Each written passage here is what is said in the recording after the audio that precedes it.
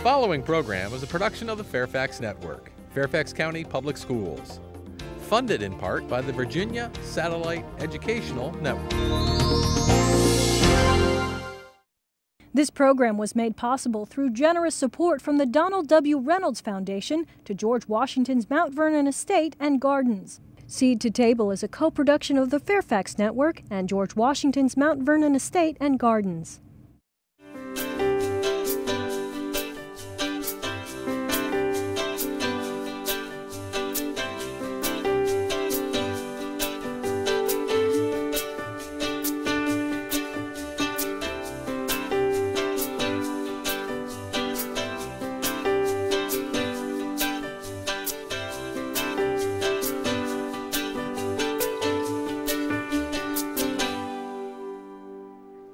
Hello and welcome to Seed to Table. I'm Kate Sullivan and I'll be your host today.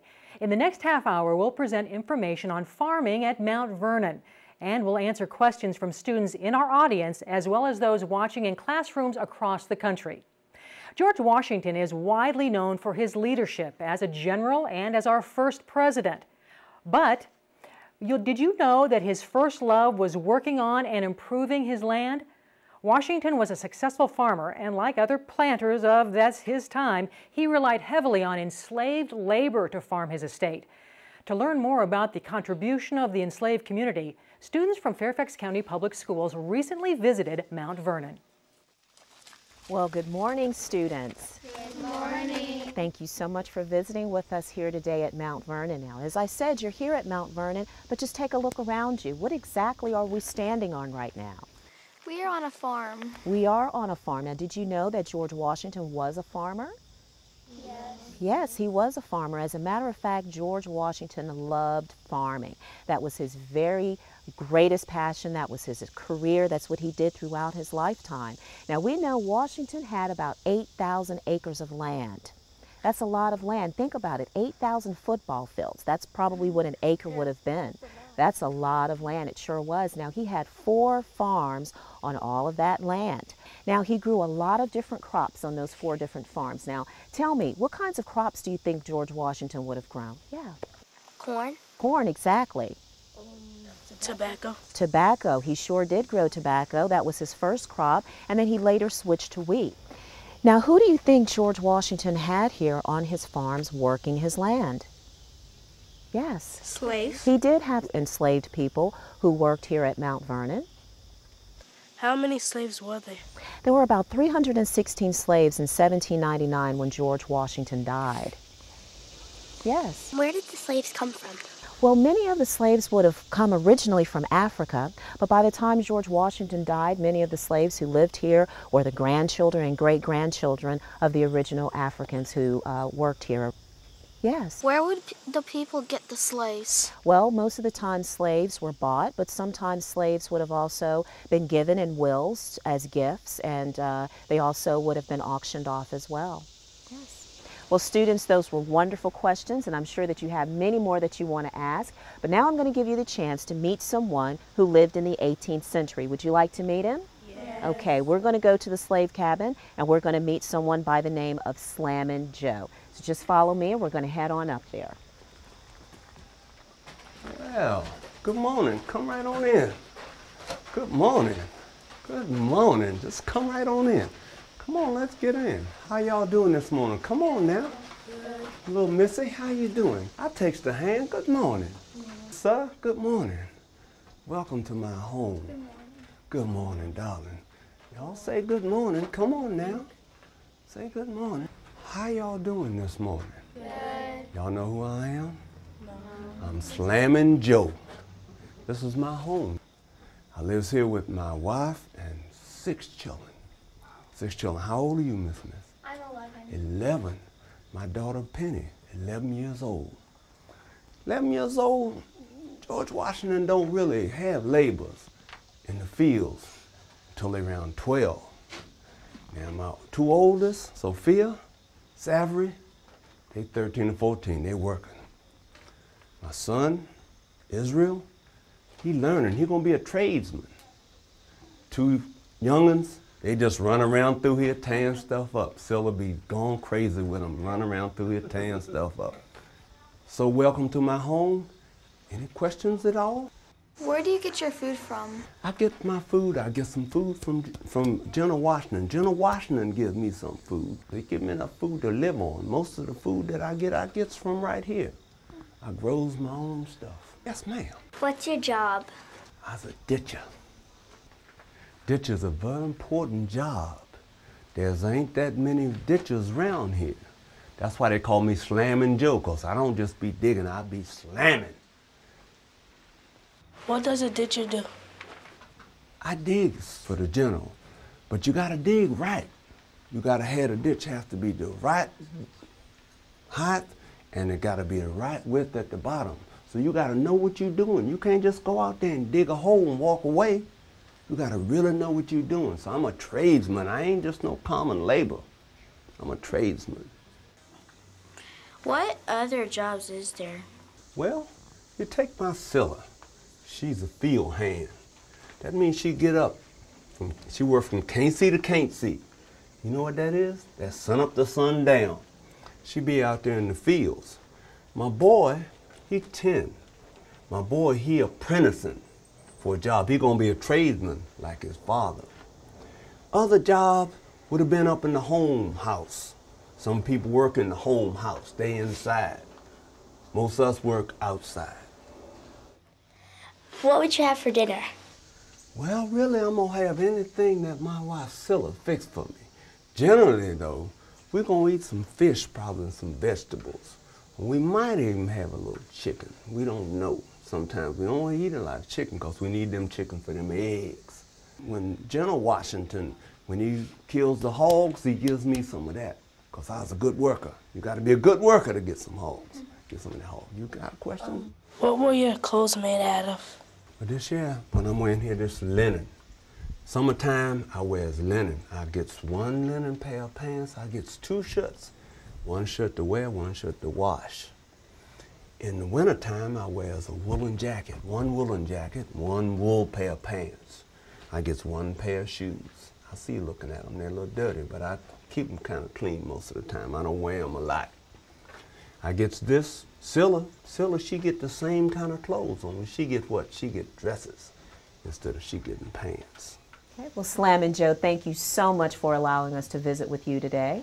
Well, thank you for coming to my home. I don't really get a lot of visitors, so I really have enjoyed y'all in here today. Students, did you enjoy visiting with Slammin' Joe? Yes. So let's give him a nice thank you. Thank you. You're so welcome. Y'all come on back in and see me, all right? Joining me now to answer your questions are Charlene Williamson, a historic interpreter at George Washington's Mount Vernon Estate, who we just saw on the tape a few moments ago. Thanks for being here, Charlene. And from the 18th century, Tom Davis, a member of the enslaved community at Mount Vernon. Tom was a laborer at the Mansion House Farm. At various times, he worked as a ditcher, bricklayer, fish net rigger, painter, paper hanger, grass cutter, and brick maker. He also hunted food for the Washington's table. And Tom, if General Washington entrusted you with a gun and gunpowder, you had to be a pretty good shot. Oh, yes, ma'am. I was a superb shot. Me and my dog, Gunner. Now, we go out there and go hunting every now and then, you know, and uh, you only get to shoot one time in about a minute or so.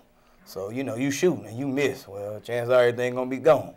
So you got to be a good shot. Well, we have a lot of questions for you and Charlene. They've been emailed into us. Let's start our discussion with a question from Mrs. Silva's fourth grade class from Indian Brook Elementary School in Plymouth, Massachusetts. They would like to know how many slaves worked at the farms and what kind of jobs did they do?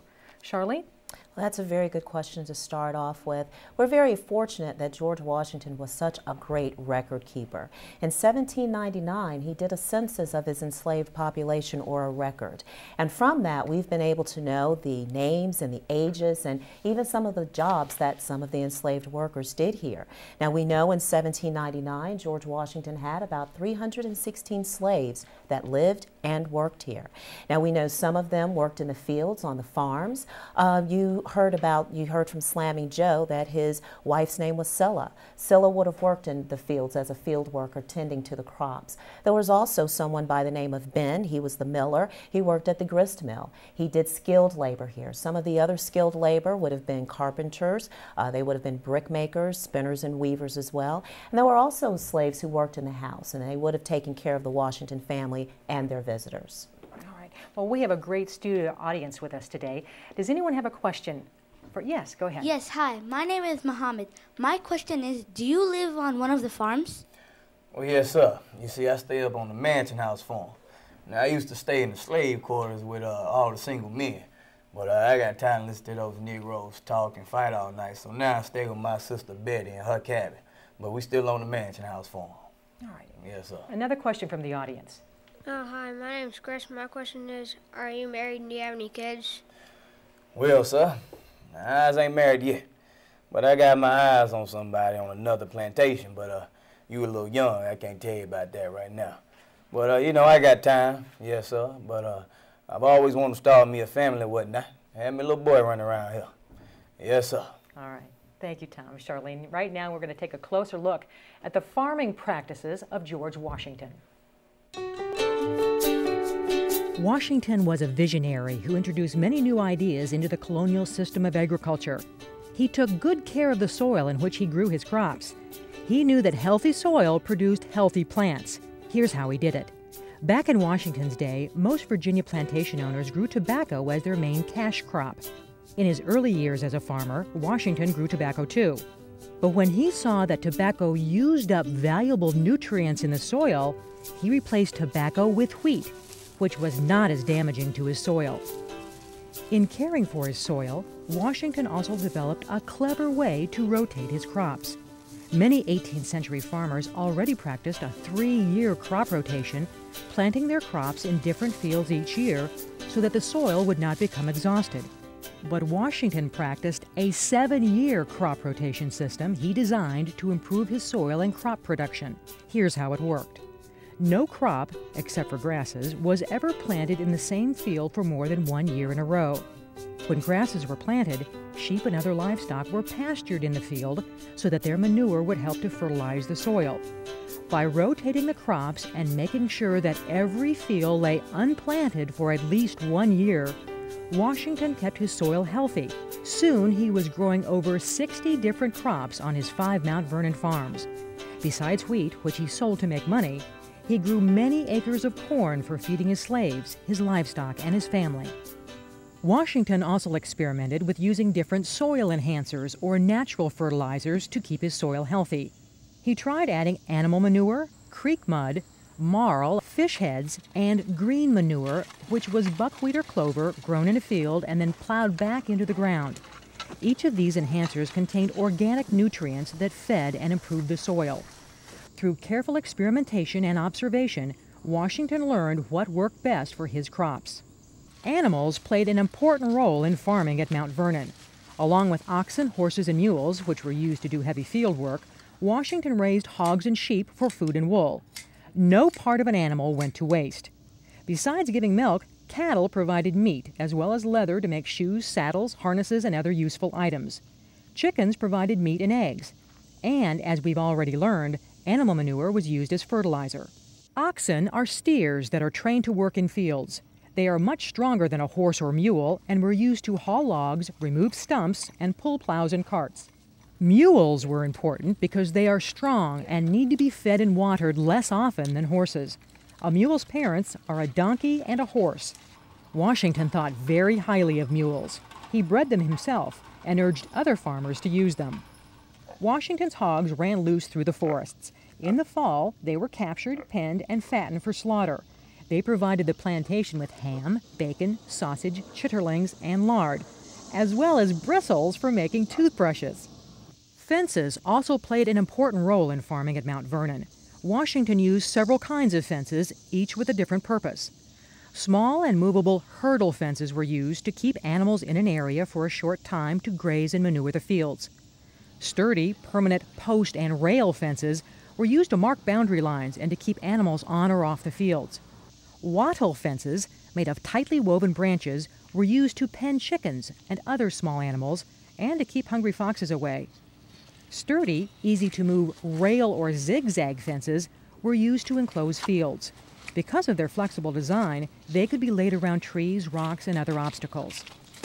So, fences at Mount Vernon had two main purposes keeping domestic animals in and keeping wild animals out. Fences protected domestic animals from getting lost, stolen, or attacked by predators, and also kept them in areas where the fields needed fertilizing with their manure. Fences also kept animals like deer and rabbits from eating crops, and foxes and mountain lions from attacking livestock. Besides soil, animals, and fences, good tools were essential to the success of Washington's farming operation. Fascinated with technology, Washington was always looking for new tools and methods. His most important invention was a 16 sided treading barn, which he designed to improve the threshing of wheat the process that removes the wheat berry from the husk after the wheat has been harvested. Traditionally, this had been done out of doors, on the ground, by hand, using a tool called a flail. Among its other drawbacks, the flail method was dirty and labor intensive. Washington's 16 sided barn was a great improvement. The barn had two levels, and the harvested wheat was laid out on the floor of the second level. The floor was made of wooden slats, with a gap of one and one half inches between each slat. Horses and mules would trot around the barn, the weight of their hooves cracking open the wheat husks. Once separated from the husks, the wheat berries would fall through the slats to the level below, where they were gathered, cleaned, and sent to the mill to be ground into flour. George Washington's farming practices were meant to conserve and improve the land, and to make the most of all the resources he had at hand in order to increase the productivity of his farms. His vision for his country and his personal interests were connected. He believed it was his duty to find the most productive agricultural methods and to share his findings with small farmers who did not have the land and resources he had at Mount Vernon. We've had a lot of emails come in. Our first question about farming is from Mrs. Speed's fourth grade class at Juniper Elementary School in Bend, Oregon. They ask, why did George Washington think that wheat was better to grow than tobacco? Charlene, you want to take that? Yes, that's a very good question. Tobacco was very, very hard on the soil. Soil gets tired just like people get tired, and just as we need rest, so does soil. Well, tobacco used up all of the nutrients and the vitamins in the soil and made it so unhealthy that it would take about 15 years for it to grow healthy crops again. Also, George Washington could only sell his tobacco to England. That was the law at that time. And the prices in England were set by people who set the prices low. George Washington and other farmers like him were not able to make a lot of money. Well, he thought wheat was a lot better. First of all, it didn't take a lot of people to grow the wheat crop, but then also Washington found that he could just simply grind the, the grain from the wheat into flour and that he could have that sent anywhere in the world. Then also he found that if he didn't sell all of his crop, he could store it at Mount Vernon and use it for his own purposes. Well, Mrs. Kleinstuber's fourth grade class at Lake Acoma Elementary School in Orlando, Florida would like to know how many treading barns did George Washington build at Mount Vernon, Charlene? Well, as you heard on the film, George Washington only had one treading barn built, and that was located at Dogue Run, uh, Dogue Run Farm. And that treading barn helped to separate the grain from the wheat stalks. Now, eventually, technology caught up with George Washington, and he was able to buy a mechanical wheat thresher, which did the job just as well. Our students in the audience have several questions. The next question? Yes, go ahead. Uh, my name is Abraham, and do you get any time off work? That's for you, Tom. Oh, sir. Well, we get one day off a week, sir. That's Sunday. Now on Sunday you can do what you like. You can go somewhere, go to another plantation, other farm, whatnot. And we got a preacher who come in. Now he come in and he teach the word to everybody. Now after he get done teaching the word, well, he'll teach those who want to how to read and write. Now you got others who uh, play games, play music or whatnot. Now me on my day off, well I just eat and sleep. I be tired from working all week, so I don't do nothing but eat and sleep. Yes, sir. We have more questions from our in-studio audience. We have from Cassie. What's your question, hon? My question is, have you ever ran away?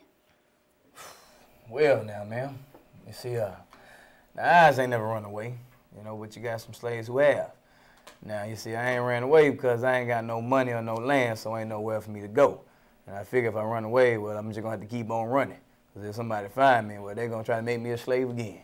So I ain't never ran nowhere. No, ma'am. My name is Catherine. About how many hours a day did you work on the farm? Well, now, ma'am, you see, uh, an old fella told me one time that uh, we work till we can until we can't. Till you can see the sun, till you can't see it no more. You see, I ain't got no timepiece, so I can't tell you how many hours that is, but I sure enough tell you this. During certain parts of the year, it seems like forever, especially during the summertime. That sun don't never want to go down. Yeah, ma'am, all day sometime. Well, an important part of Washington's estate was his mill. We're going to learn a little bit more about that right now. Many large plantations in 18th century Virginia had grist mills. Such mills ground wheat into flour and corn into meal to help feed the family, enslaved workers, and animals living and working on the plantations. But George Washington's grist mill was different. It was called a merchant mill because the flour and corn meal it produced were not only used in Mount Vernon, but also sold by the barrel to customers nearby and as far away as Europe. By selling his flour and cornmeal, Washington was able to make more money from his farming business. A grist mill is a big machine that uses water for energy and runs using a system of gears and levers. The water for Washington's mill was stored in a pond about two miles away. To reach the mill, the water traveled downhill through a man made canal called a mill race. From the race, the water entered a wooden box or flume, which had a gate that the miller would open to release the water against a big wooden water wheel located inside the mill.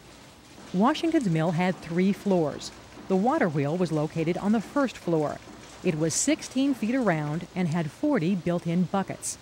The weight of the water in the buckets, which was over 3,000 pounds, assisted by gravity, caused the wheel to turn and power the mill machinery. But how did this actually work to grind grain and corn? A strong oak shaft connected the water wheel to the mill's main gear. As the water wheel turned, it caused the shaft to turn, which then turned the main gear. The main gear was connected to a series of smaller gears, which turned two pairs of millstones located on the mill's second floor. One pair of stones at Washington's mill ground wheat, and the other corn. Each stone had deep grooves cut into it to create a grinding surface. The lower stone of each pair did not move, while the top stone turned. The miller used a lever to control the distance between the top and bottom stones. How far apart the stones were determined whether the flour or meal would be finely or coarsely ground. The closer the stones were together during grinding, the finer the final product. Finer grade flour was sold for more money and earned George Washington a larger profit.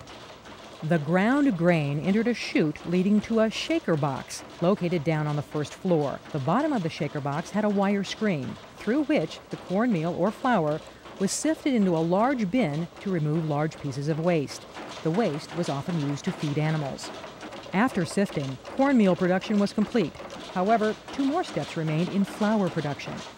First, the flour was dried in a hopper boy. Then it passed to a bolter, which separated it into superfine, fine, or coarse grind by passing it through coarse, fine, and superfine meshed cloth screens. George Washington was always eager to use new technologies to help improve his business. In 1791, for example, he was one of the very first mill operators to install a labor saving new Oliver Evans system at his grist mill. And in 1797, he opened a distillery next to the mill. Soon, the distillery was one of his most profitable business ventures. George Washington believed that the success of our nation depended on growing and shipping wheat, flour, and other agricultural products around the world.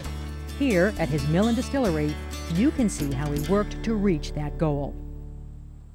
Our next question is from Mrs. Easter's third grade class, Church Street Elementary School in Tupelo, Mississippi. Where was George Washington's grist mill? Charlene.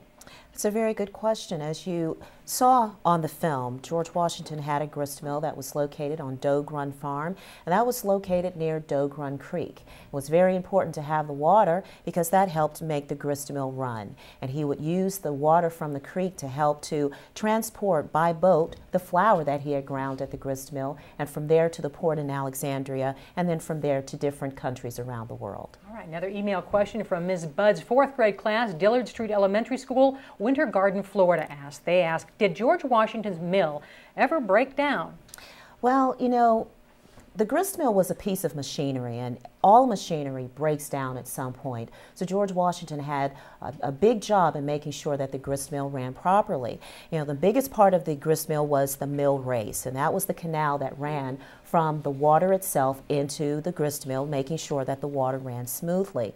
Now, someone like Slammin' Joe, he would have been responsible for digging ditches to make sure that the water ran smoothly. Weather was always a problem as well. Sometimes if the weather was too cold, the water would freeze and the water wouldn't flow into the mill. And then there were other times when the weather was too hot and there wasn't enough rain. And then that would also present a problem because there wasn't enough water to run the mill. All right, Mrs. Downer's fifth grade class in Fremont Elementary in La Cañada, California wants to know, how much flour did George Washington's mill produce each year?